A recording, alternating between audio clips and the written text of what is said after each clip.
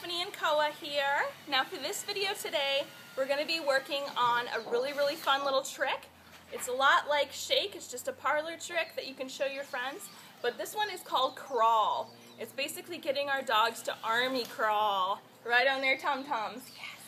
So this one's going to be um, more of a tutorial instead of an actual, um, you know, instead of an actual showing you.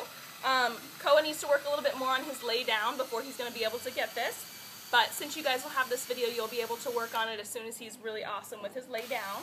Yeah, and he's getting there. So what you want to do with our crawl is we're going to get our puppy into our sit. Hey, sit down. Good. And then you want to get him into his lay down.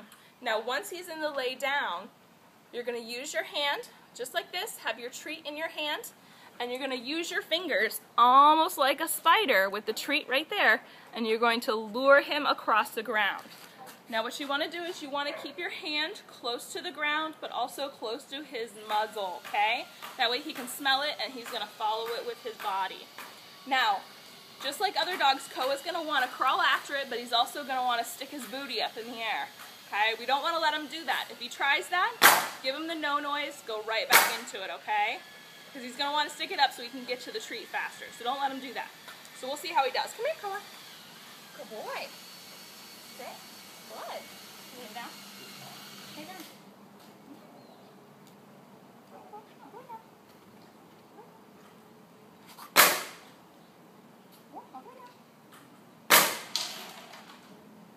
Good. So I've got him in lay down, so I'm going to use my treat. Can you crawl? Can you crawl? So if he gets up, what you want to do is just go right back into it and try again. Because he's going to want to get to that treat and he's not sure how he can do it without getting up. So lay down. Wait, can you?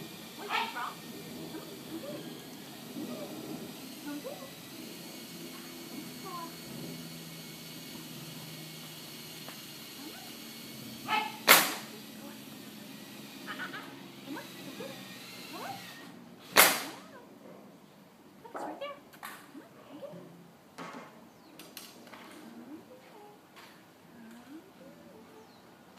Now, sit up.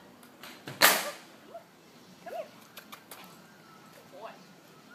So this is going to be a little bit harder for him because he's still learning that lay down. And he's also, he's trying to figure out what you're asking for him because once he's in that lay down, he's like, what more do you want? So when you guys are working on this one at home, for the first few times, what you really want to work on is just making sure he gets into that lay down and that he sees the treat in front of him.